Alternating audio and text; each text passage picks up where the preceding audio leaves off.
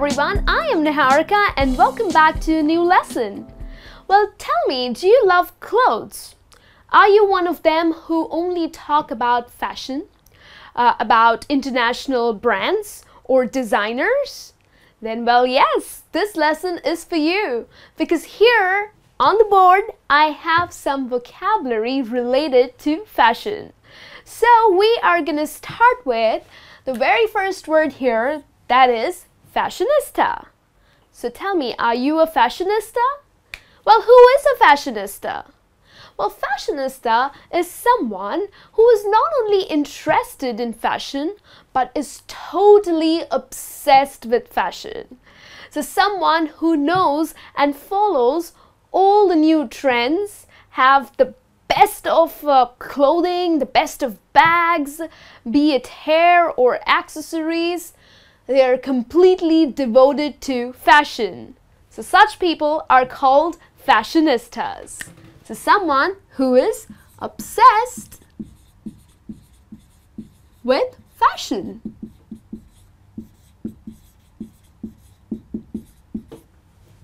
Okay, another one that I have for you here is a conservative dresser.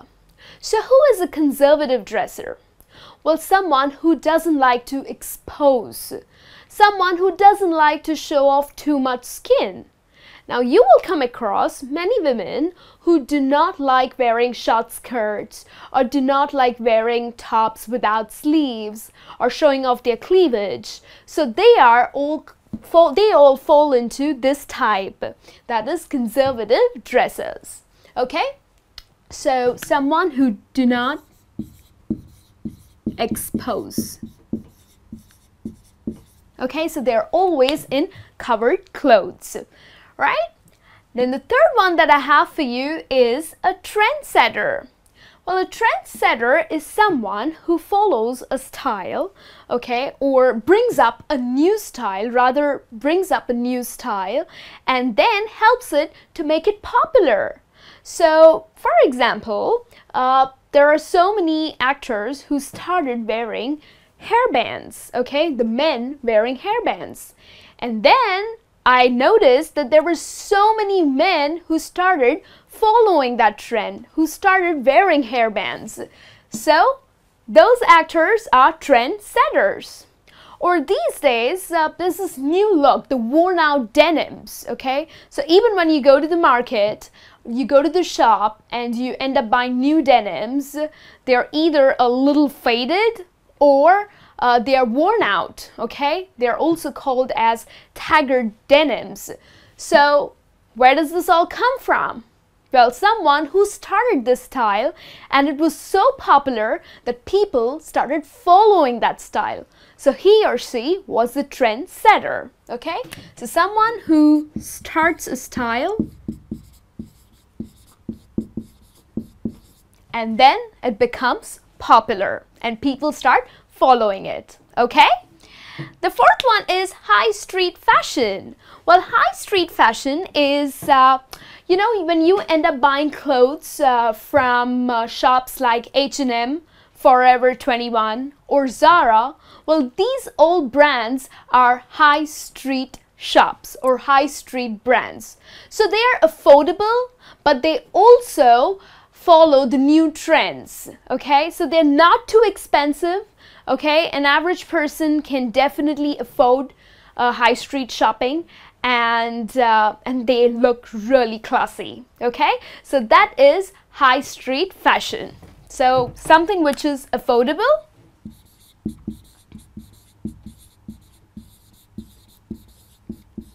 And trendy.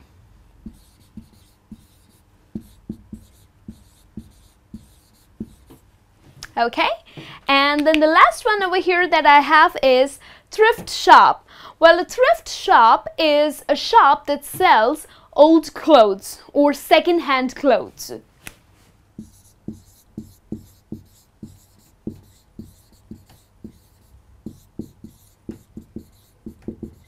So it is second-hand clothing. Well, usually thrift shops sell second-hand clothing to raise funds for church or for some charity. So, uh, in fact, internationally, I have seen so many thrift shops uh, who sell second-hand clothes, and that really helps uh, them to fund for charity. Okay, so those kind of shops are called as thrift shops. Okay, so these are certain words that are related to fashion. And now we are going to look at some words that would help you to describe fashion. It is always nice to talk about fashion, right? Or someone who is extremely fashionable. Then here are some words for you. The first one is stylish. Well, stylish is uh, someone who is stylish is someone who is extremely fashionable who follow the new trends and they're always dressed in a very classy manner. So they are stylish.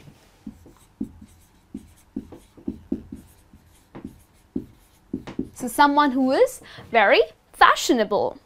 Now even the word chic has the same meaning. Chic also means to be stylish or fashionable However, when you say, um, oh, did you look at Karen's new chic jacket? Okay, so chic sounds a little nice because uh, it's a French word, but the meaning is just the same, being classy or being stylish or fashionable. Okay, so you can use the word chic as well. And the third one is in. Well, in well, here when I write in, it means that, uh, oh, this blue color is so much in these days. So, in, when it comes to fashion, means something which is really hot. Hot selling or is extremely popular. So, when I say that, oh, leather jackets are so in these days, this means it's extremely considered uh, hot or very trendy, okay? That most of the people are wearing the same thing. It's a popular style. So that's why I have this word in here. Then we have trendy. Now, trendy is also pretty much similar to in or something which is really hot and something which is extremely popular these days. Like I said, uh, worn out denims are so trendy. Or this new color, the new pink, the carrot pink is so trendy. So something which is very popular, is very considered to be very hot and is pretty much in, okay? So that's the word for you to describe fashion. That's trendy. Then I have vintage. Well, what comes to your mind when you use the word vintage? Something which is old but extremely stylish and of a great quality. So something which is old, stylish, classy, and good quality.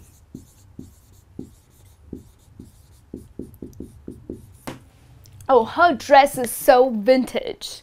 So vintage, uh, vintage clothing might be uh, worn by others before.